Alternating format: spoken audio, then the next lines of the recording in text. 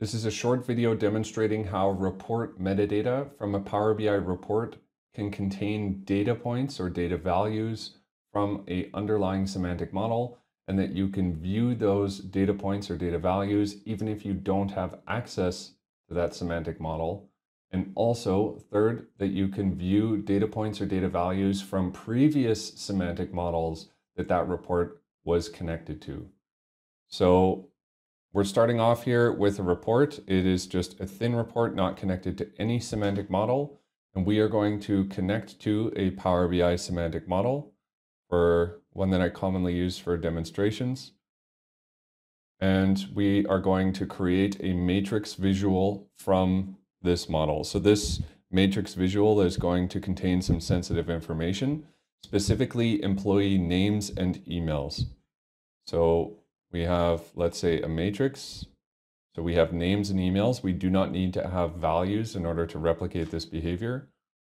So there are a number of circumstances when a report metadata can contain data values or data points.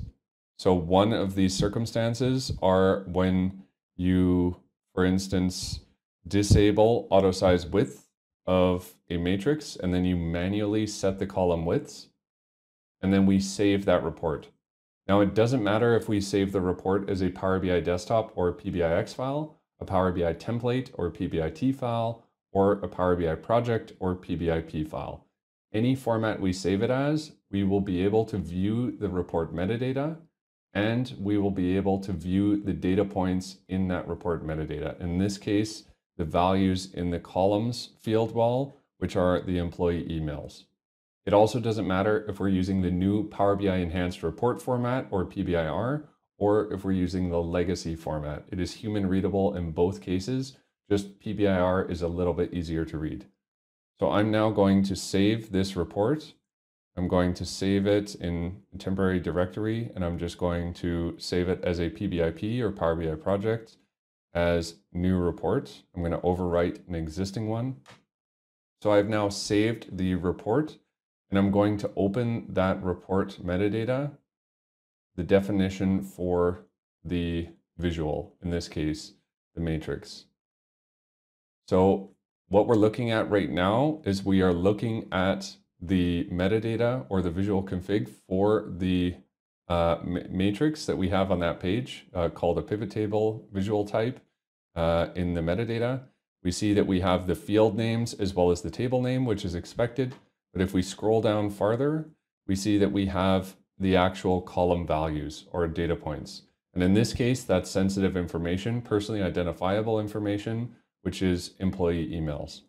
So this is an example of how report metadata can have sensitive information or data points.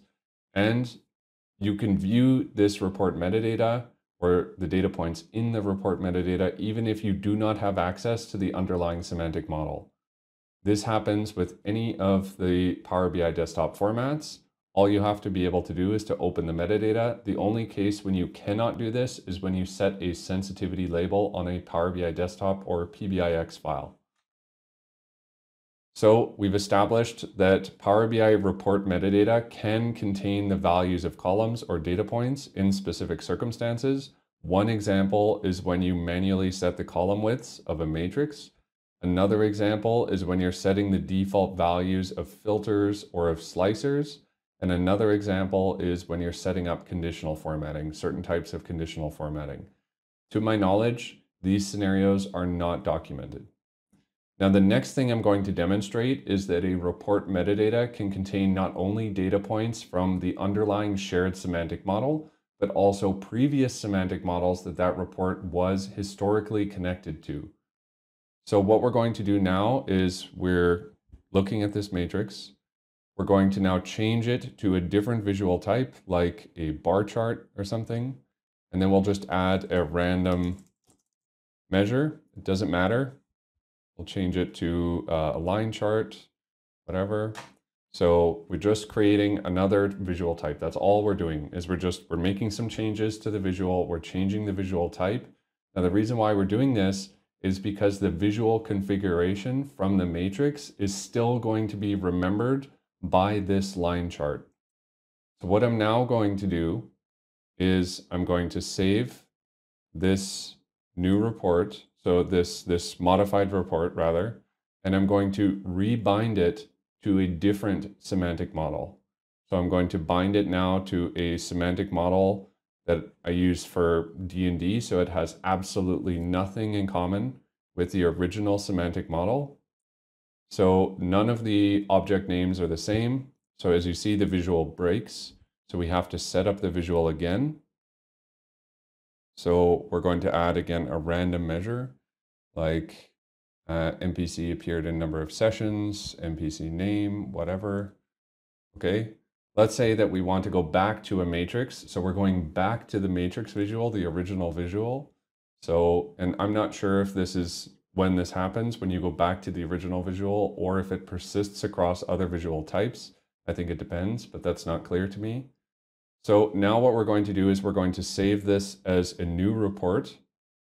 So sensitive report 2, new report 2. We're saving it again as a PBIP. And now we're going to open the metadata from the new report. So I'm just opening the definition for the visual. Again, this is just the matrix. So we're opening this again. So we see that we have the matrix. It has NPCs, name. So it's the, the name column from the NPCs. Uh, we have a measure as well, the NPC appeared number of sessions. So this has nothing to do with the previous semantic model. But if we keep scrolling down, we have the object names from the previous semantic model and the values. What this means is that there is a footprint, a data footprint that is following this visual around and potentially accumulating when you're reusing the visual. So copying and pasting it between reports, when you're reusing the report and rebinding it to new reports, when you're saving it as a template and then reusing that template. For example, when you distribute it to people within a uh, specific business unit, for example, as a kind of starting point. Now, this is problematic because then this could contain, of course, sensitive information, but also there's absolutely no way to remove this footprint unless you manually modify the config file yourself. So you cannot modify it from within Power BI Desktop, and you cannot modify it using, you know, any other tools that I'm aware of. You can only modify it by going in and modifying this JSON file. So ideally, the expected behavior would be that this footprint does not exist, that it does not remember the visual config from when you're changing the visual type, especially when you're switching to a different semantic model.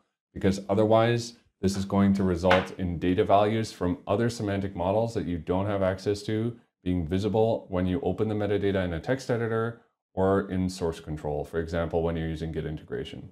So to review, Report metadata can contain data values from both the existing semantic model that it's connected to, as well as previous semantic models.